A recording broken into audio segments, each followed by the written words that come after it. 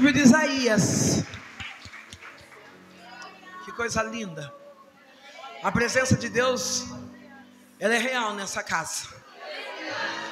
Eu sinto o meigo doce, amável Espírito Santo, trabalhando nesse lugar.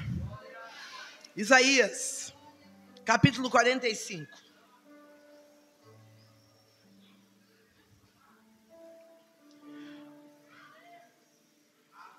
Isaías 45. Eu posso falar? o verso é o 2 e o 3. e diz assim, ó: Eu irei adiante de ti. Ah, eu vou aqui, ó. Endireitarei os caminhos tortuosos. Quebrarei as portas de bronze e despedaçarei os ferrolhos de ferro. Dar-te-ei os tesouros escondidos e as riquezas encobertas, para que saibas que eu sou o Senhor, o Deus de Israel, que te chamo pelo teu nome. Podeis vos assentar. Sentado olhando a Deus.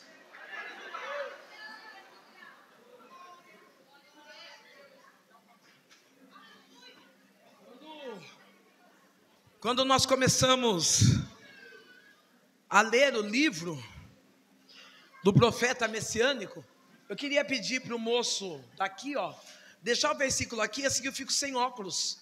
Eu fico charmosa nas fotos, entendeu? É isso, me ajuda aí. É estratégia. Que sem óculos eu não enxergo.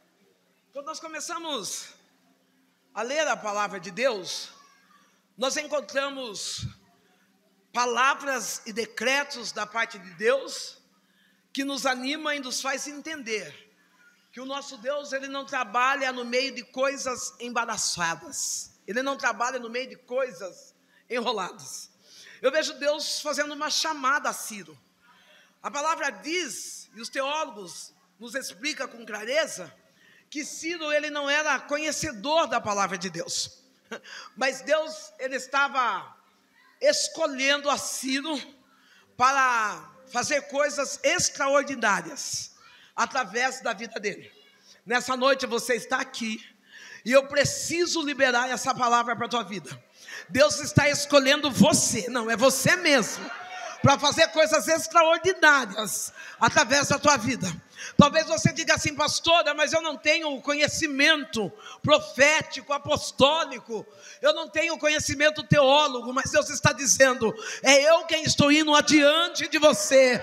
Ei, e quando Deus está indo adiante de nós, Ele dá sabedoria suficiente, aqui, para nos usar para fazer as coisas extraordinárias. A primeira coisa que Deus diz a Ciro, Ele diz assim: Olha, Ciro você não precisa ficar preocupado. Dá uma batida no ombro do teu irmão e diga: Você não precisa ficar preocupado. Quando Ciro recebe esse alinhamento de Deus, alinhamento do céu sobre a vida dele, coloca lá no 2. Ele recebe esse alinhamento do céu da vida dele. Deus ele diz uma palavra que alivia o coração de Ciro. Deus diz a Ciro assim, ó: eu irei adiante de ti. O que é ir adiante? É estar à frente. Eu posso entender que muitas das vezes nós enfrentamos alguns obstáculos na nossa vida. Ou melhor, a maioria das vezes nós encontramos obstáculos, mas eu já entendo que aquilo que nós estamos passando não se compara, é muito pouco, porque o nosso Deus ele já está indo à nossa frente. ah, não, às vezes nós falamos, Senhor, eu estou levando algumas pedradas, eu estou tendo algumas decepções, algumas dores, e Deus fala, bobinho, eu já estou indo à sua frente. Eu estou entendendo que o que é mais pesado, que iria machucar mais, Deus já tomou a frente e está dizendo: Eu estou indo e estou fazendo o quê? Eu estou endireitando os caminhos tortos, eu estou tirando as curvas, eu estou tirando os tropeços, eu estou tirando os buracos para que você passe seguro. Aí eu vou trazer a sua memória, porque talvez você vai dizer assim: Não, eu não, não consigo ver num Deus que endireita os caminhos tortos. Vamos lá para a Bíblia. Moisés tem um chamado. Moisés ele está enfrentando uma das maiores dificuldades, que é conduzir o povo. Eu olho por mim, eu tenho uma neta, eu não vou falar o nome dela para passar vergonha, que eu não consigo, ela me dobra. Ela é eu. Eu olho para ela e falo: Meu Deus, você veio para mostrar com força. Ela é ela é dada, ela é falante. Ela toma o ambiente. Agora eu tenho um neto que é quieto, calado. Fala com os olhos, pensativo. E às vezes eu preciso conduzir os dois no meio ambiente. São de famílias diferentes, de mães diferentes. E eu preciso conduzi-los no mesmo ambiente, a mesma avó, que tem que mostrar a linguagem de amor para pessoas diferentes. A minha neta, a linguagem de amor dela é beijo, é abraço, é paparicar, carregar no colo, ela é enorme, carregar no colo. O meu neto é palavra de afirmação. Você é inteligente, você pode, você consegue. E Deus, quando eu estou com os dois ali, Deus me mostra e me dá a sabedoria de conduzi-los sem, sem dar a devida importância a, a um ser maior e outro menor. Colocar os dois no mesmo nível. Porque às vezes nós nos identificamos mais com alguém e desperdiçamos ou damos tempo de qualidade a alguém e a pessoa diz, ah, ela gosta mais de fulano. Então Deus qualidade, qualidade da sabedoria para nós sabermos qualificar como tratar as pessoas. Deus estava fazendo isso com Moisés, estava dando sabedoria. Ah, eu só entrei nessa passagem por causa de duas, três pessoas. E Deus falou assim: não demora muito nisso aí. Eu falei: tá bom. Eu quero pedir para esse moço que está de óculos alto, nessa fileira aqui, careca como eu, fica de pé, querido. Deus, ele chama Moisés, assim como eu e como você, nós falamos para Deus os nossos defeitos. Porque é fácil nós reconhecermos os nossos defeitos, é fácil nós assumirmos que somos incapazes, e isso até nos torna de apoio para que Deus não venha fazer aquilo que Ele determinou para a nossa vida. Deus está dizendo assim: é eu que estou te capacitando e quando Ele capacita, nós não temos desculpa no meio do caminho. Eu vejo Deus indo adiante de um grande empreendimento, a mão dele à sua frente, rabandoquira, relemando se rebácia de que reneia. Ele vem nessa noite dizendo, lecaia choubia. Há momentos que você diz, parece que aquele é mais preferido, parece que aquele é mais amado, e Deus está dizendo, não, eu amo todos do mesmo nível, e eu vim para tratar contigo de perto, para dizer assim, eu estou indo adiante desse negócios, eu estou indo adiante dos teus sonhos, dos teus projetos, e eu vou te dar tesouros escondidos. Ele é maiatobia, calda ele. Ele é de ria. Ele é de essa, libiaça. O casal fica de pé. Casal de pastores? Já esqueci o nome, casal de pastores. Já esqueci. Moisés precisou passar por alguns períodos. Eu vou falar de Isaías, mas eu escolhi três pessoas para falar de Moisés, líderes.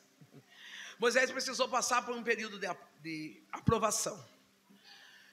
E o maior período mais difícil para Moisés, eu achava que era quando ele foi enfrentar Faraó. O momento das dez pragas um momento de ir falar aquilo que Deus mandava e voltar com uma negativa de Faraó. Deus está dizendo assim: tem uma negativa que está machucando o teu coração. Eu vejo uma divisão de um povo. Edíbia, ressou derribiasse. E Deus diz assim: não chore mais por aqueles que saíram. Machucou, feriu, mas lembre que nesse deserto eu estou fazendo você andar com ouro, andar com prata. Eu não tenho desamparado a tua casa, eu não tenho desamparado a tua família. Tu diz, Senhor, mas eu depositei toda a minha confiança, era a minha segunda pessoa, e Deus está dizendo: não, eu sou a tua primeira pessoa. Eu vejo algumas pessoas passando na porta e dizendo: é, mas está aberto, está funcionando, não desanimar, e Deus está dizendo assim: eu tirei, fui eu que dei livramento, porque eles não tinham capacidade de carregar a carga profética que eu coloquei sobre o ombro de vocês. Descansa o coração, porque essa perda é sinal de multiplicação.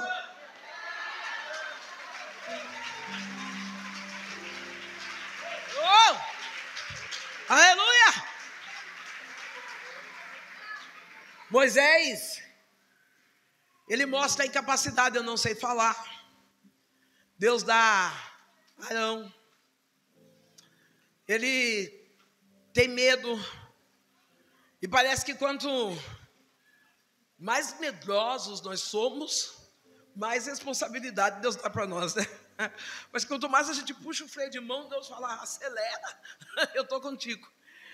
Moisés, ele pega um povo cativo, ele pega um povo escravo, e começa a conduzir para uma terra prometida. Aquele povo sai de uma escravidão, sai de um caminho de vergonha, e na mente daquele povo, eles estão sem direção. E Deus está dizendo assim: Olha, Moisés, eu vou indo adiante, eu vou indo à sua frente. Eu penso que quando Moisés ouve, Moisés diz: vai ser fácil, porque afinal Deus está indo. Deus está indo? Vai ser fácil. Mas quando Moisés está caminhando, ele dá de topa. Ele, todo aquele povo, dá de cara, de frente com um grande mar. As laterais estão lacradas por muralhas, por montanhas.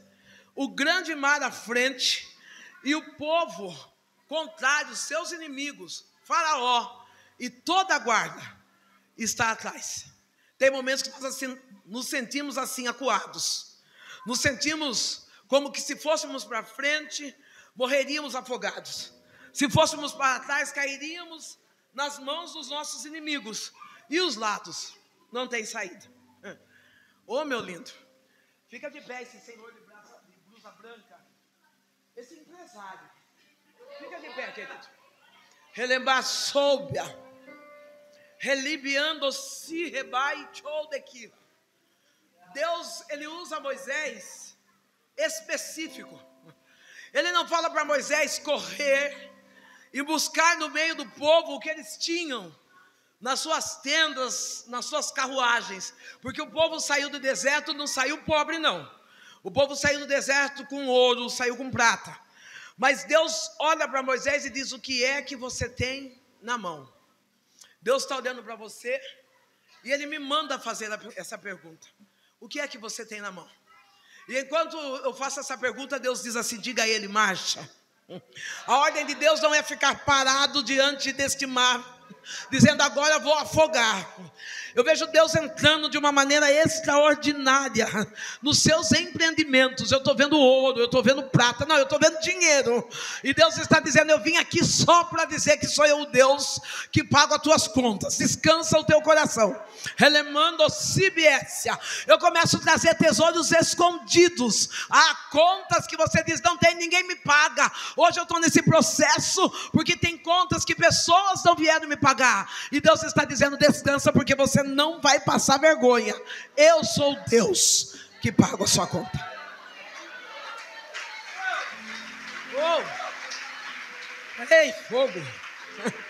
Tem fogo de Deus nesse altar, tem presença de Deus nessa casa. Eu sinto uma unção aqui, oh, rebai, de Moisés está encarando com medo.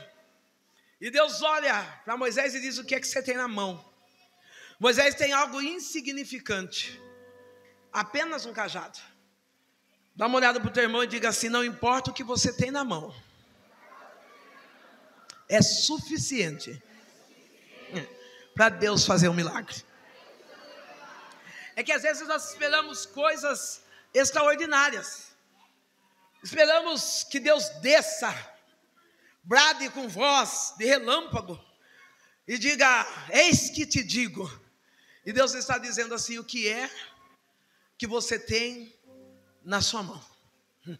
Moisés ele olha e diz: um cajado.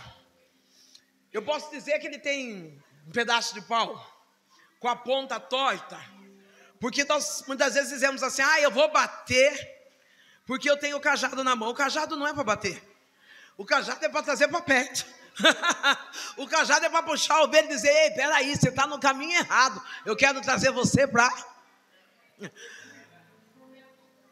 Moisés olha, aquela arma que ele tem não é uma arma de guerra, é uma arma de alinhamento. Cajado, diga cajado, é a arma de alinhamento. Você que é pastor, apóstolo, não, para com esse negócio aqui, eu tenho cajado, eu vou bater, eu vou corrigir, não, eu vou alinhar, eu vou ensinar, eu vou trazer para perto. Não, não, essa ovelha, ela está pegando alguns carrapichos, ela está ficando manchada. Eu não vou bater até ela aprender, não, eu vou trazer ela para perto, porque o amor que eu vou entregar na vida dela vai ser tão grande que vai constrangê-la. Moisés olha e fala: essa arma não é arma de guerra, é arma de amor. O amor vence o mal. O amor quebra coração endurecido. O amor resgata famílias. O amor restaura histórias. Não. Você não precisa ter dinheiro, não precisa ter nome, sobrenome, mas você precisa ter o dono do amor, que é Jesus Cristo. O Senhor pega aquela arma do amor e fala: toca nas águas. Moisés toca nas águas, o mar se abre. O mar se abre e eu fico impactada. Entra na cena comigo. Eu morei numa, numa, numa rua, ia falar cidade, eu moro em Boituva. Eu morei numa rua que não tinha asfalto. Quando chovia, eu precisava, para trabalhar, colocar sacos plásticos nos pés, para que não, chuva, não sujasse minha roupa. Regaçava as calças até um tanto, colocava saco nos pés e eu ia patinando, derrapando no meio daquele barro escorregadio, por conta da chuva que tinha passado.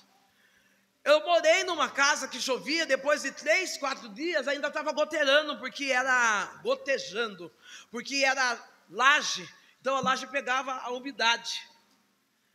Então nada se seca de um dia para o outro. Nem roupa no varal. Deus abre o mar. E a Bíblia diz que o povo passa em terra seca e segura. Não, que bom que alguém levantou a mão e entendeu.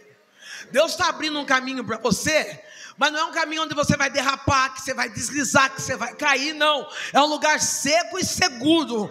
Ah, você vai olhar, embora haja chuviscos, relâmpagos. Ah, e olhar do não, você vai lá, não precisa olhar dos lados, porque quem abriu esse caminho para me passar é Deus. Ele está garantindo a minha passagem para o outro lado. Ei, levanta a mão nessa noite. Eu quero profetizar para a tua vida. Você já não vai andar mais na linha do fracasso. Você não vai andar mais na linha da depressão. Você não vai andar mais na linha da tristeza. Hoje tem um caminho seguro. Você vai andar na estrada do amor de Jesus Cristo. É. Aleluias. Ciro, talvez ele não tivesse a oportunidade, talvez não nós temos a oportunidade e isso nos torna bons e nos torna ruins. Nós temos a oportunidade de conhecer o início e o com, o início e o final de todos os relatos bíblicos, toda, qualquer história, qualquer documentário que eu for ler aqui, você vai dizer assim o final deu certo, porque da Bíblia já está escrito o final. Você está chorando porque você não sabe o seu final. Mas o mesmo Deus que inspirou homens para escrever a palavra é o mesmo Deus que está cuidando de você. Então é certo que o seu sinal será sinal de que o seu final será final de vitória. Ah, não, não é certo que o seu final será como você quer, mas é certo que o seu final será um final de vitória. Porque se Deus fosse fazer aquilo que nós queremos, com certeza não seríamos vitoriosos. Porque nós somos enfadados ao fracasso. Nós somos enfadados a, a nos assentar e falar assim: ah, deixa a vida me levar. Eu não vou suportar mesmo, eu já perdi. Oh, ô menino lindo, ó, se eu falar menino lindo e você não levantar a mão, você vai ficar feio. Levanta a mão. E ele olhou e procurou outro. É você mesmo, querido. Aqui já aproveitou, levantou a mão no seu lugar. Você o que dá? Ele manda súbia. Ele vai de desirra. Relibiando que refai é sobre. Eu vejo Deus ungindo as tuas mãos de uma forma apostólica. Relibiando saia de kira. Enquanto Deus usa as tuas mãos, Ele está dizendo assim: quando eu digo apostólico, é porque o que eu te chamei não é para assalto, é para nações. Alibiando cai chou de récia. Talvez você ainda não entenda o que Deus está trabalhando na tua vida, porque tu diz assim, Senhor, há uma ansiedade no meu peito, há uma pressa acelerada de ver as coisas acontecerem, e o Eterno diz assim: Eu estou no tempo, eu vou chegar no tempo, e eu sou o dono do tempo, prepara tu vai voar como águia, diz o Senhor dos Exércitos. Oh. Aleluias. Ciro, ele está recebendo o chamado. Ah, gente, ah, onde a linha vai? Ciro está recebendo o chamado. E quando o Ciro está recebendo o chamado, Deus já está dando as diretrizes desse chamado. Talvez você não entendeu, mas quando Deus te chamou, Ele já deu as diretrizes do seu chamado. Quando eu cheguei a Cristo, embora eu tivesse vindo de uma maneira toda torta, embora eu estivesse vindo de uma maneira toda destruída, embora eu estivesse vindo de uma família, de um protocolo contrário à palavra, Deus disse a mim: Eis aqui a minha ungida. As pessoas olhavam e diziam: Não, eis ali uma prostituta, eis ali uma alcoólatra, eis ali uma sem vida. E Deus dizendo: Eis aqui Não, não importa o que estão dizendo ali, ali já foi, ali já passou. Deus está dizendo: Eis aqui o meu escolhido, eis aqui o meu ungido. As pessoas podiam até olhar para Ciro e dizer: Mas por que Ciro? Porque às vezes a gente questiona, né? Por que Deus escolheu esse? A gente quer ajudar Deus a escolher, né? Eu questionei quando Deus me escolheu. Eu falei, por que eu? Tem tantos mais qualificados, melhores. E Deus disse assim: o escolhido não tem escolha. Você pode chorar, você pode mudar de cidade, você pode correr, mas ele vai te achar. Você pode dar uma de, ah, eu estou desse jeito aqui, e aqui eu vou ficar porque é melhor para mim. Deus fala, eu vou te achar. Nessa noite Deus está te procurando, Ciro. Nessa noite Deus está procurando, Ciro, para entregar palavras proféticas para a tua vida. Oh, tem uma moça negra linda, abraçada numa blusa de frio. Fica de pé, querida. Relibiando Shira. Ressolde queribia. Relibiando sobia deli refaz. Recobiai chou deli decobia. O nome dessa igreja é bem propício ao nome da tua história: restauração. Alamai que porque você sabe o que é ser quebrada e ser feita de novo. Deus está dizendo assim: sou eu Deus de oportunidades. E não rejeite as oportunidades que eu te dei. Eu vejo um coração angustiado, triste, um coração com expectativas por alguns fracassos que você não esperava enfrentar na vida. Deus está dizendo: Eu vim para curar o teu coração nessa noite. Eu vim para alinhar o teu coração, a minha, a minha vontade, que é boa, que é perfeita, que é agradável. Relemanda a a. Eu vejo Deus entrando dentro da tua casa, mulher. Alamando Sibianda, e ele diz assim: Olha, sou eu, Deus, que alinho paternidade, alinho familiares, para que tu possa testificar que o Deus Todo-Poderoso é Ele que entra e endireita aquilo que está torto.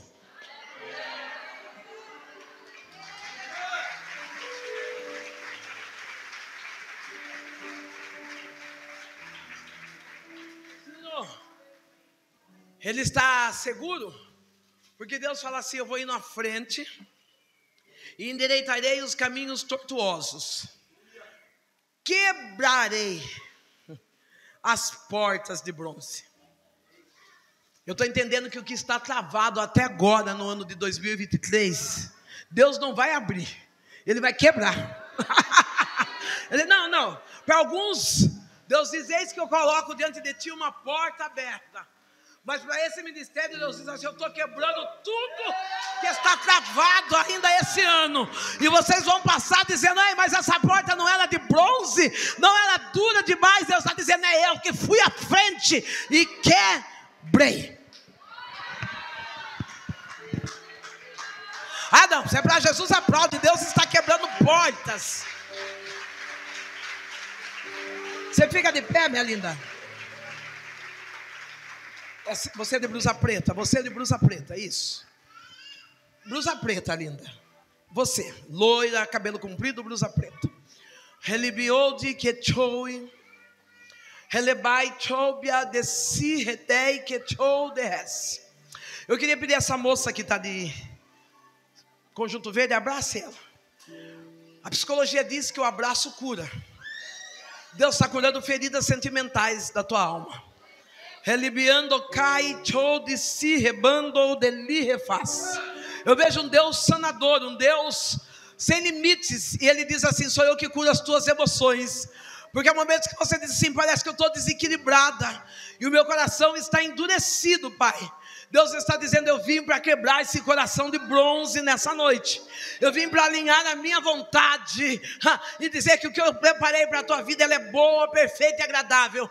Não importa as palavras de maldição que foram lançadas sobre ti. Hoje vem palavra de bênção e o Deus Todo-Poderoso está dizendo: Eu estou indo adiante para endireitar aquilo que está torto, quebrar as fortalezas do inimigo e te entregar os tesouros das escuridades. Oh! Poxa vida. Olibia solde, relibiando si rebas, relemai cochou de res. Eu estou vendo Deus entrando na frente de pessoas e dizendo assim: essa porta, oh meu lindo, fica de pé. Oh, beaça. Relei chou beaci, remando aqui, rebai deliha. Você deixa eu descer um pouquinho, príncipe? Relebai, Davi, deixa eu descer um pouquinho só. O perigo é eu cair em cima de você, mas eu dou conta. Relibiando cai chou descer. Relei chou beaceni, rebolde que ni reface. É aqui, é atrás. Deus está dizendo: não dê passos da frente. Não se precipite, porque eu sei o dia. Eu sei o preço que tu tem pago em jejum e obediência para viver aquilo que Deus tem entregue sobre as tuas mãos. Alamando aqui rebaçou de li refácia. Enquanto eu olho para você, de Kira, eu vejo o decaia sobre um chamado. Elia de que E tu diz assim, Senhor, esse chamado tem machucado, esse chamado tem ardido no meu peito, mas machucado a minha alma. Deus está dizendo, eu vim para limpar a tua alma hoje das feridas. Aqueles que acharam que você é incapacitado, estou eu, Deus, dizendo, sou eu quem te capacito. Eu vejo Deus trazendo sobre a tua mente a sabedoria de Salomão, lembácia. Elebanda chou de que rabasse, que rebácia. Eleito biaci de rei que doe. Resúbia, tu irás ler nas entrelinhas da minha palavra, levando que rebácia. E tu vai ministrar de uma forma diferenciada, porque sou eu o Deus, aqui, relebácia. Deus está arrancando uma página da tua história, uma página essa que te traz dor. Deus está dizendo do teu passado, eu não lembro mais. Só vem e faz a minha obra, diz o Senhor. Oh! Ei, ele é masubia sharai. Ele é massou de de toui. Silo recebe. E Deus diz: Eu vou quebrar. Eu vou quebrar as portas de bronze. Você fica de pé, estampado, relibiando-se. Relebate de que eu vi um livramento de morte. Alamando cai. Deus diz assim: Eu sou médico dos médicos. E quando eu faço a obra, eu faço por completo. Eu vejo Deus entrando na tua casa, selando alguém que você gerou, porque tu chora por conta de um filho, e Deus está dizendo: o que tu gerou não é para perdição, é para bênção. Alabando de si rebácia, ni refácia. Deus corrige e diz: filha, rabácia. Sou eu, Deus, que te livrei. Pode ficar aí, que eu vou até você. Sou eu, Deus, que te livrei do vale da sombra da morte. E agora eu entro dentro da tua casa para cuidar dos teus. Alamando de que refaz. Porque tu diz, eu lutei até aqui, Senhor. Eu pelejei até aqui, mas hoje eu já não tenho mais forças. Porque tu sabes o que é dor de lutar sozinha em favor dos filhos. E Deus está dizendo assim: Eu sou teu marido. Lamando. É eu que entro nessa batalha espiritual dentro da tua casa. Eu te saro, te curo. E tu vai testificar de que eu fiz uma virada dentro da tua casa. Oh! Aleluia.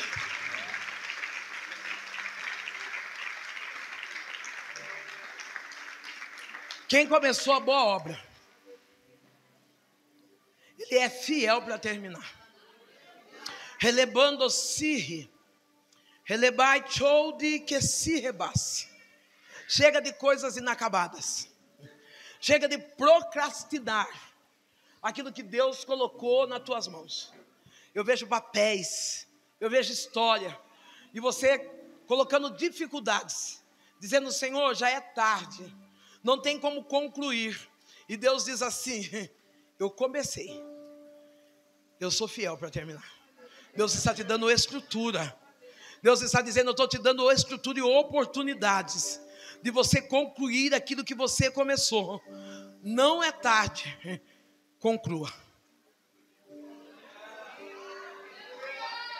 Ciro, tem porta de bronze, passagem limitada. Deus está dizendo: Eu quebro. e os ferrolhos, Senhor? Eu tiro. Ferrolhos são dardos, ataques espirituais. Sentada do jeito que você está. Como o diabo luta para quebrar essa aliança? Relibiou de Kira de Soubia de Lira. Vocês estão juntos pela misericórdia de Deus. Porque tem pessoas da família que já disseram, não sei porque não separa. Eu vou usar a palavra que os familiares usaram. Eles não têm vergonha. e Deus está dizendo assim: Eu vim para reajustar esse casamento. Relibiou de desire de faiaçou. Eu vejo um documento que trava a sua história. E o Eterno diz assim: Eu não vou vir como advogado, não. Eu estou entrando como juiz. Ele mando cai, a aqueles que zombaram, aqueles que disseram agora afundou, porque não tem como mudar o que foi escrito. Deus fala: sou eu que sou dono da lei, e eu venho como juiz assinando esse papel. Deus está alinhando a sua família, repreendendo espírito de quebra de aliança, está dando tempo novo, dignidade e restauração para dentro da casa.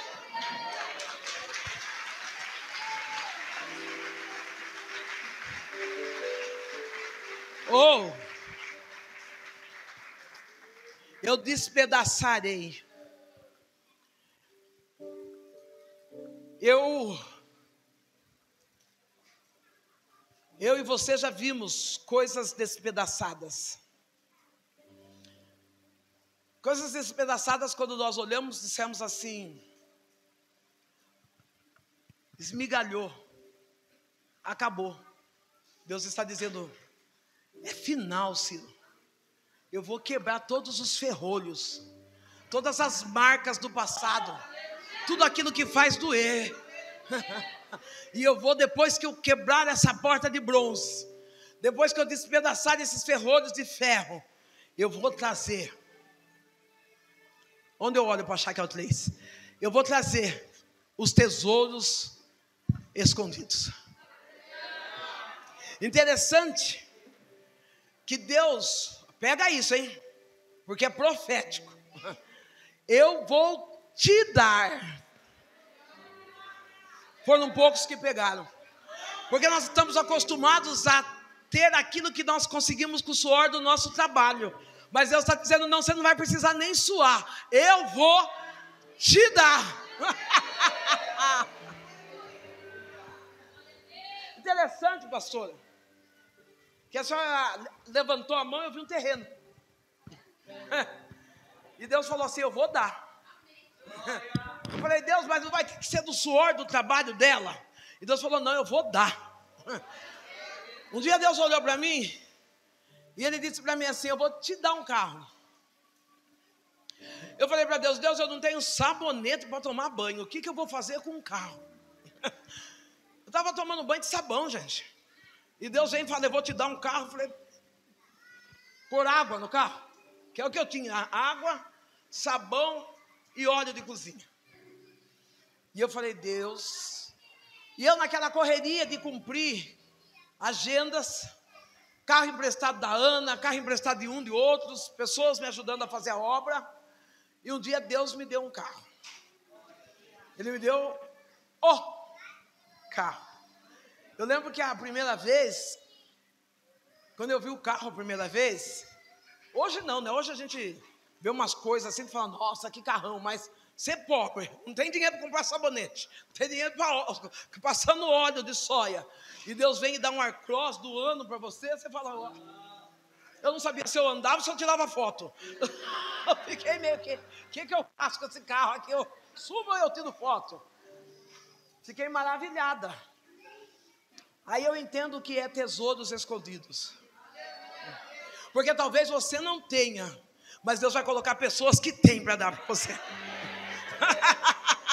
Não, pastor, eu não tenho condições. Deus fala, ei, eu tenho quem tem, eu vou colocar quem tem para dar para você. Não, Deus não vai tirar de quem tem. Deus vai colocar. Não sabe quando aquela pessoa tem muito e fala, eu não sei nem o que fazer? Eu vou dar. Deus vai e fala para Ciro: Eu vou dar as riquezas encobertas. É aquilo que Ciro não imaginava. Não, porque a riqueza do dia a dia, a riqueza diária, e eu tenho gratidão por isso, porque nós temos riquezas diárias todos os dias, não é mesmo? Você tem consciência disso? Você é rico porque você não, não desfazendo ou menosprezando pessoas com deficiência, até posso falar porque eu tenho do lado esquerdo a visão que eu não, que eu não enxergo. Mas eu vim aqui sozinha, enxergando não foi eu que vim dirigindo, eles têm tudo plano de salvação. foi eu que vim dirigindo. Lá a gente não faz plano de seguro, é plano de salvação. Quer andar de carro comigo? Então, olha, jejua, porque eu, vou, eu que vou dirigindo. Você está enxergando, pastor? De um lado eu estou. Vamos que vamos. De um lado, esse aqui não, mas desse eu enxergo bem. Mas nós temos tesouros todos os dias: a saúde, a vida. Sabe um tesouro que eu não tinha? E eu só encontrei quando eu realmente encontrei com Cristo? Paz.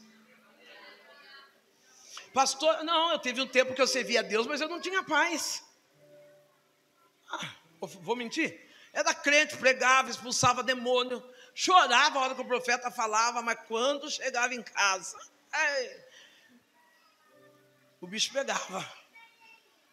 Era conversação, falatório, era lágrima, era traição, era mentira, era zombaria. Eu não tinha Quando Deus, Ele falou para mim, eu vou cuidar de você, Ele precisou tirar tudo que eu tinha, só para mim ter um encontro real com Ele, que é a verdadeira paz. Não basta só vir à igreja, não basta só vir, a, vir aos cultos, levantar a mão e dizer eu recebo. É necessário ter um encontro real para que você possa ter paz. Porque quando nós temos um encontro real, a conta de luz atrasada não tira a nossa paz. A água que está para cortar não tira a nossa paz. O relacionamento amoroso que não deu certo não tira a nossa paz. A porta de emprego que se fechou não tira a nossa paz. A enfermidade que chega, ela não tira a nossa paz. Eu conto um testemunho recente, que há dois anos atrás, eu estava, não que eu não esteja ainda, né? Mas eu estava barriguda. E eu fiquei 45 dias sem evacuar. E aí eu falei, não, não é normal. Comecei, um fala, come uma mão, come a mexa, come. Nada. Eu falei, eu vou no médico. Cheguei no médico, o médico pediu os exames. E ele disse assim: olha, tem um, um desvio aqui, como uma cicatriz no seu reto. E ele está obstruindo a passagem das fezes. Vamos fazer uma biópsia? Fui lá, fez colonoscopia, tirou lá um pedacinho. Quando eu voltei, ele falou: Olha, pastora, não está legal o que eu vi. Lá na minha cidade, todo mundo conhece a de pastora. Primeiro conhecia de Sandrão. Depois eu falei para eles assim: Sandrão morreu. Ei, Sandrão é a pinguça, nóia, acabou, para com isso aí. Pode até chamar de Sandra, mas Sandrão é muita intimidade. Você não foi nas biqueiras comigo. Você não foi na prostituição comigo, não. Menos, deixa abaixo isso. Vamos aí, ó. Eu subi de nível. Eu subi. Eu subi de escrava para serva. É, eu subi de nível. Eu subi de escrava de Satanás para serva de Cristo. Ei, você subiu de nível. Até vou voltar um pouquinho. Deus falou para Ciro: Eu te chamo pelo nome, não é pelo apelido. Não é, vai careca, pouca telha. Né? O meu filho teve uma, uma disputa de filhos favoráveis. E a mãe falou: Meu filho é um tesouro, meu filho é um diamante, meu filho é isso. Eu não tinha o que falar. Eu falei: Meu filho é um petróleo. Carregou esse apelido um bom tempo. Eu falei: Filho, agora aguenta firme aí, porque agora já foi. Né? Eu tive um problema de enfermidade, e nessa enfermidade fiz exames. E o médico falou assim: Olha, o problema no seu intestino é sério. Eu falei: É, ele falou: É. Eu falei: E eu vou encaminhar você para Jaú. Lá em Jaú, eles vão fazer um desvio do seu reto e vai colocar numa bolsinha. Então a senhora vai evacuar por essa bolsinha para ver se vai precisar fazer químio, qual vai ser o tratamento que nós vamos utilizar. Aquele médico falando tudo aquilo para mim, a única coisa que eu me preocupei na hora, olha a minha cabeça. E agora eu vou dar, em cima disso, vou dar outro testemunho. Olha que coisa legal. Eu falei, Deus, como que eu vou pegar com uma bolsinha com um cocô aparecendo? Foi a única coisa que eu pensei. Eu não pensei a gravidade da enfermidade. Eu olhei para o médico e falei para o médico assim: aí você me dá sete dias? Ele olhou para mim e falou: senhora está com câncer. Eu falei: mas eu preciso de sete dias. Barriga enorme. Eu falei: eu preciso de sete dias. Ele falou: senhora que sabe, mas eu creio que a senhora vai ter que vir aqui antes. Deixou encaminhamento, tudo certo. E eu fui para casa, liguei para algumas amigas de oração. Você tem amigas de oração? Não, se você tem só amiga de confusão, cai fora desse, desse ninho, procura amigas de oração. Não, porque amigas de oração é aquelas amigas que você liga e você fala para elas, olhe por mim. Ela fala tão unida, não pergunta nem por quê. Agora de confusão quer saber por quê, porque ela quer compartilhar com outra. Porque crente não faz fofoca, ele compartilha oração. Você não sabe, fulano, o casamento dele está destruído. Ligou aqui e pediu oração. Ah, você não sabe, fulano está com câncer. Para, isso aí não é amiga de oração, é amiga de confusão. Porque amiga de oração, ela fala, não, estou orando, estou dentro, a guerra é minha, estamos juntos. Eu tenho amigas de oração. Eu liguei para algumas amigas de oração e elas falaram assim, falei, preciso de um milagre. E elas falaram assim, Deus é especialista em fazer milagres. Falei, bora. Eu falei, eu dei um pra. Quando eu fui falar, eu dei o pra. Ela falou assim: Nós vamos fazer um jejum, pastora, de sete dias pela senhora. Eu falei, Amém. Ela falou, só que a senhora não jejua. Deixa nós jejuar. Come, bebe de tudo. Eu falei, imagine, estou com um problema no intestino, meu intestino está entupido. Elas falaram, come, bebe de tudo. E eu falei, bom Deus, eu vou obedecer. Todos os dias uma mandava, às três horas da manhã, um áudio para mim, durante sete dias. No sétimo dia, a última pastora falou, Efatá. Quando ela falou essa frase, eu levantei da cama e comecei a vomitar fezes. Eu vomitei mais de um balde de fezes. Que nojo, que ânsia, eu vomitava de ânsia, de nojo, de desespero, dentro de casa, sozinha. E eu falava, Deus, eu vou morrer, eu preciso ir, ir para o médico agora. Deve ter estourado tudo dentro de mim. E eu fui de manhã, fui para o médico. Cheguei para o médico e ele falou assim, eu sabia que você viria. Eu falei, eu vomitei fezes. Eu vomitei mais de um balde. Ele falou, deve ter estourado tudo por dentro. Eu não vou nem examinar você. Você vai direto para Jaú. Fui direto para Jaú. Quando eu cheguei em Jaú, mostrei meu ultrassom. A moça falou assim: Nós vamos colocar a senhora de jejum para operar. O médico falou: Vamos fazer um ultrassom nela antes. Eu contei que eu tinha vomitado e tal. Ele falou: Vamos fazer um ultrassom antes. Quando fez o ultrassom, o meu reto estava limpo, liso. Eu estava curado. O médico falou: Não, esse exame não é seu. Tesouros escondidos. Esse reto, esse exame não é seu. Eu falei, é. Ele falou, a senhora vai ficar internada, a senhora só vai sair daqui quando a senhora evacuar no vaso. Ah, deu duas horas. Eu falei, eu estou aqui sentado no vaso, pode vir. estou pronto para ir embora. Tesouros escondidos. É isso que Deus quer trazer. Deus quer manifestar milagres extraordinários na sua vida. Ele chama Ciro, eu não sei se Ciro tinha apelido, mas Deus diz assim: Eu te chamo pelo nome. Eu entendo que quando você vem para Cristo, tudo que é velho, ele tira. Ele falou: Olha, eu vou tirar os ferrolhos, as portas, as coisas velhas, e eu vou te dar os, escondi os tesouros escondidos, as riquezas encobertas, para que você, para que você saiba que eu sou Deus. Deus está trazendo alinhamento pessoal. Não, você não vai viver no altar contando o testemunho dos outros. Você vai subir no altar e vai contar o seu testemunho.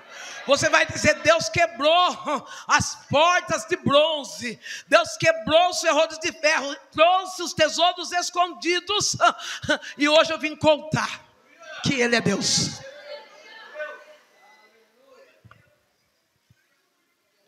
Talvez, Ciro, quando ouve tudo aquilo, Ciro não consegue entender a dimensão do que Deus é capaz de fazer. Ciro não consegue entender que Deus o conhecia tão no profundo,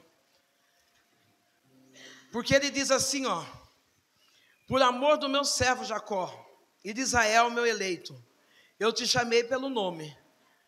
E eu acho tão lindo que pus o teu sobrenome. Pastor, durante 34 anos da minha vida, eu tive tantos nomes. Durante 34 anos da minha vida, eu tive tantos apelidos que chegou uma certa hora que eu não sabia quem eu era. Eu não tinha uma identidade. Eu não sabia mais O que é mais importante saber? Que nós somos filhos. Vocês têm a convicta certeza de que você é filho? Quando eu cheguei para Jesus, eu cheguei com o apelido de Sandrão. Cheguei ferida como mulher, como pessoa, como ser humano. Cheguei ferida e ferindo outras pessoas. Deus foi me curando. E depois Deus me deu um nome, Sandra. Trouxe o meu nome verídico. E aí ficou Sandra, Sandra. Eu não vou pôr títulos, porque as pessoas às vezes questionam. E eu não sei nem por que questiona e briga. E se alguém está preocupado com isso, eu não estou. Ai, não existe pastora. Deus traz à existência aquilo que não existe.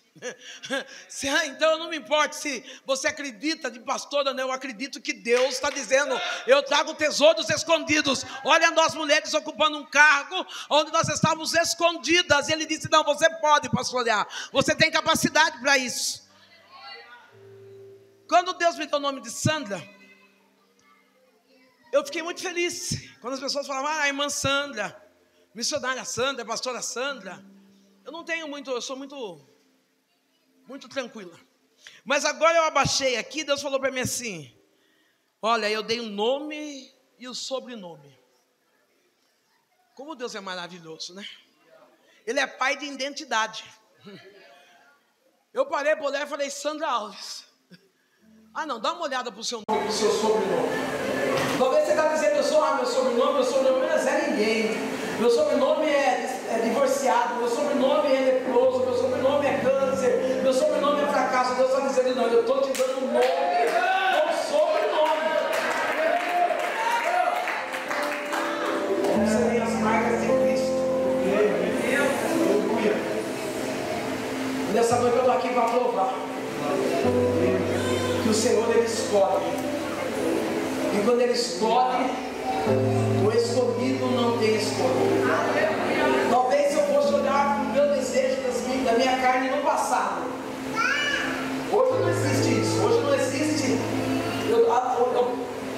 pessoas falam, mas o que você sentia quando estava lá?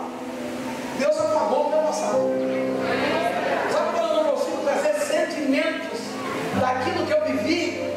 É uma história que eu conto, eu sei que é minha história. Mas eu não trago dor, eu não trago saudades, eu não trago marcas, eu só trago gratidão,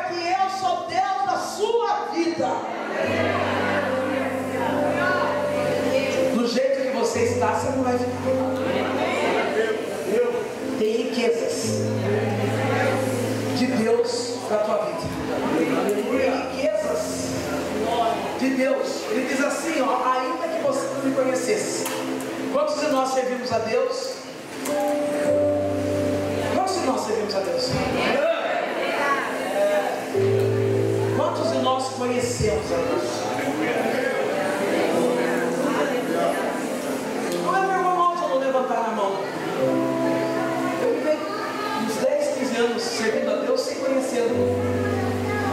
Sem sabendo que para Deus não existia nada impossível.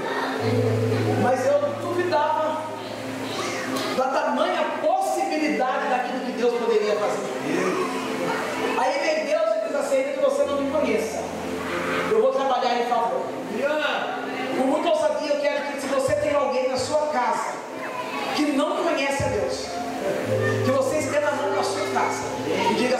Conhecimento chegue até ele, que o conhecimento da palavra de Deus venha alcançá-lo. Quebra os ferrolhos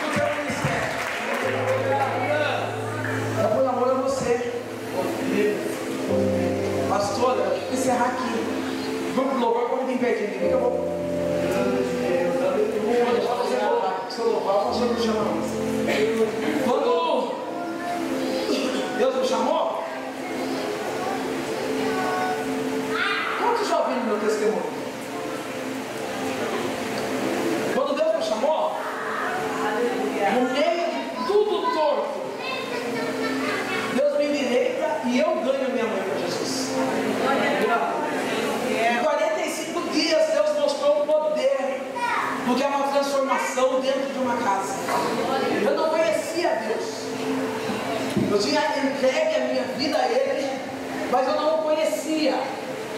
Não tinha intimidade. E não tenho intimidade suficiente.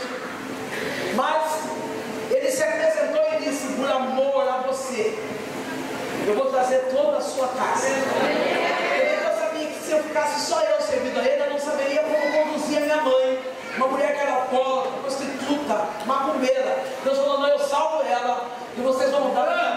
Quantas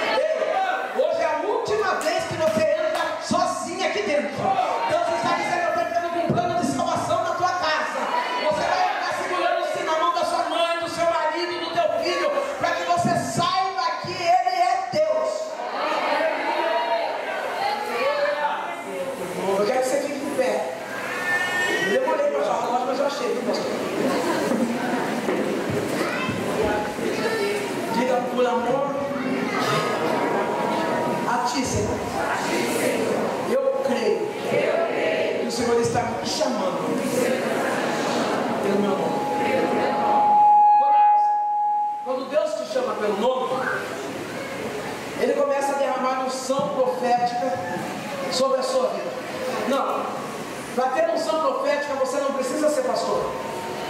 Você não precisa ser missionário. Você não precisa ser evangelista. Você precisa crer no poder profético que sai das mãos do Senhor. A unção profética está sobre as suas mãos. É a sua mão que libera palavras sobre a sua casa, sobre a sua família. É sobre... Eu queria dois pastores, dois líderes aqui na frente comigo.